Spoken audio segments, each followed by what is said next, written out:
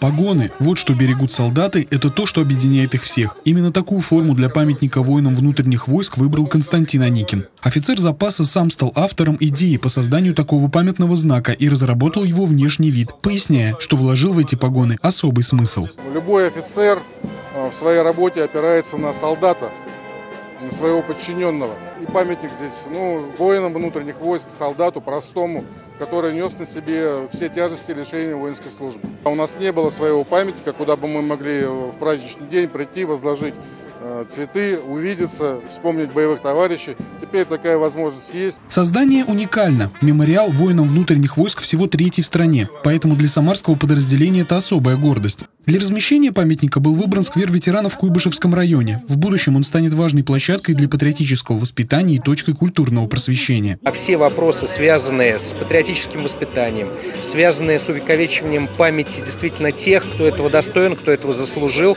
в том числе ценой своей жизни, они э, имеют государственную значимость и важность. После торжественного открытия ветераны службы, представители других ветеранских и военных движений и организаций возложили цветы к мемориалу.